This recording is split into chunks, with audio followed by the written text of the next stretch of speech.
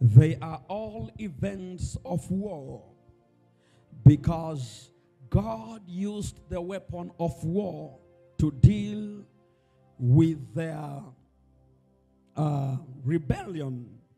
Every time they rebelled from God, God had to send war. He had to use the Philistines, he had to use the Jebusites, he had to use the Moabites to come after them. So the war is intense in the time of priest Eli because the glory of God is fading from the temple. The anointing of God is no longer there. The signs and wonders are no longer there.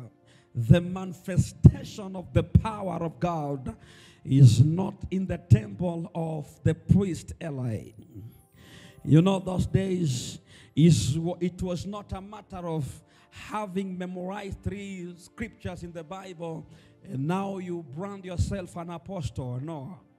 You are a real priest if you are to be written in the holy book as a priest. So, by the time Eli was introduced into priesthood, he was a real priest of God. So, in his era, in his era, there were things that made God to turn his back away from them.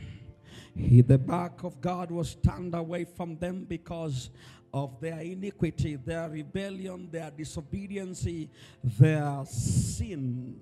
Their sin made God to turn their back away from them. So, as much as the praise was in this temple, as much as the worship was in this temple, as much as the activities were taking place in this temple. Something was missing in this in the temple activities. And this is what was missing in this temple. This is what was missing in this temple. Because if the glory of god if the anointing of god will not be the submission of the gathering of the people of god in the temple then the temple is not worthy at all now, listen to me.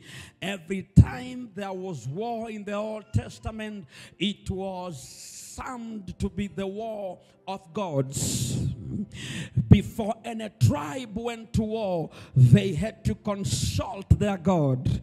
The Israelites, they had to consult their God the Philistines had to consult their witches and sorcerers, their Jezebels. They had to consult the Jebusites. Eh, each and every tribe had their own gods, and they believed whoever was going to emerge victorious in this war, it was going to send the signal of how powerful their God is.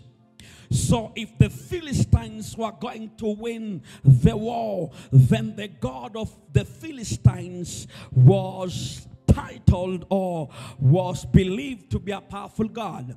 So the war in the book of First Samuel chapter number 4 is a war that is working against if something is working against you, it means uh, it's not working in your favor. It means they were losing the war. They, they were losing to their enemies. The battle was so intense that they were losing to their enemies. Now remember, the work of the priest was to pray.